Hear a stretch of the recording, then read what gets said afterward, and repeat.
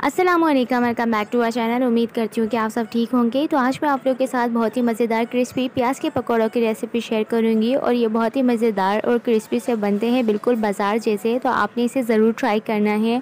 और अगर आपको ये रेसिपी अच्छी लगे तो लाइक कर लीजिए और चैनल पर न्यू है तो सब्सक्राइब भी कर लीजिए। इट्स हम बड़ रिक्वेस्ट ये तो चले रेसिपी स्टार्ट करते हैं।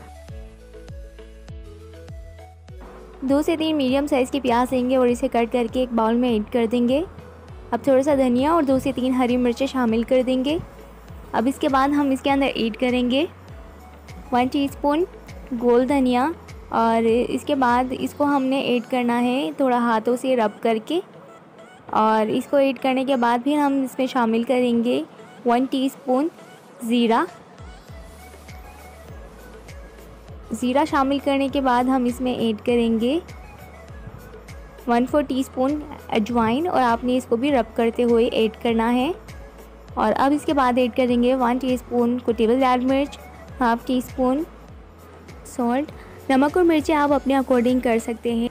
तमाम स्पाइसेस ऐड करने के बाद आपने प्याज के साथ पहले इसे अच्छे तरीके से मिक्स करना है और फिर हम इसके अंदर ऐड कर देंगे बेसन। तो इस बेसन के अंदर हाफ़ कप बेसन है और हाफ़ कप चावल का आटा और इनको अच्छे तरीके से आपने मिक्स करते हुए ही ऐड करना है। और आपने इसके अंदर पहले पानी शामिल नहीं करना।